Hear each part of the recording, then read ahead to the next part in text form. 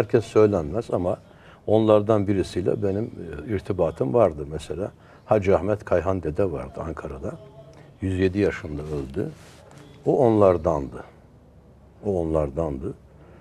Ee, ben bir ara sanıyorum sizin programda, yani sizin televizyonda 28 Şubat sürecinde beni birisinin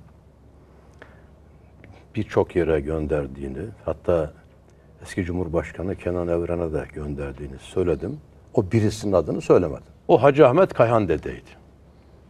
Hacı Ahmet Kayhan dede. O görev verdi bana, ben de görevi yaptım.